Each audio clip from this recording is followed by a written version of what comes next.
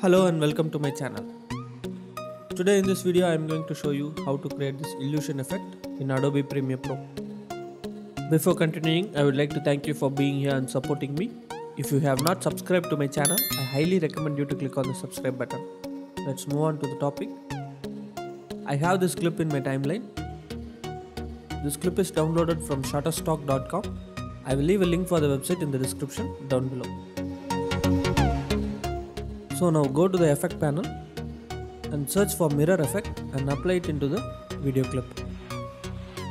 In the effect controls, set the reflection angle to 45 degrees and change the x value of the reflection center to 1380. These values can change according to your wish. You can play with the settings. Now nest the clip. Once done, set the scale value of the nested sequence to 50 and duplicate the nested sequence thrice so that we have 4 nested sequences stacked one after another. Now change the position values of these 4 nested sequences so that they are aligned to 4 corners of the composition.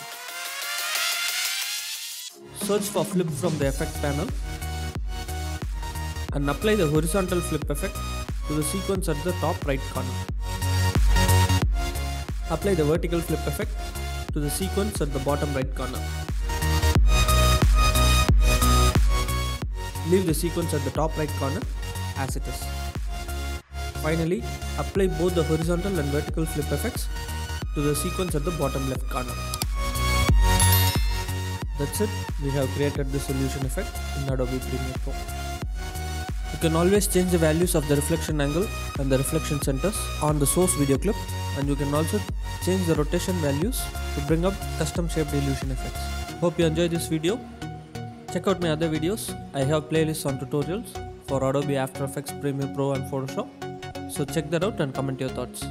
Thumbs up if you like this video.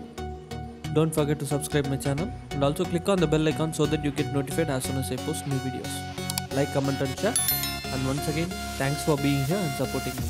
Thanks for watching. This is Raudhran signing off.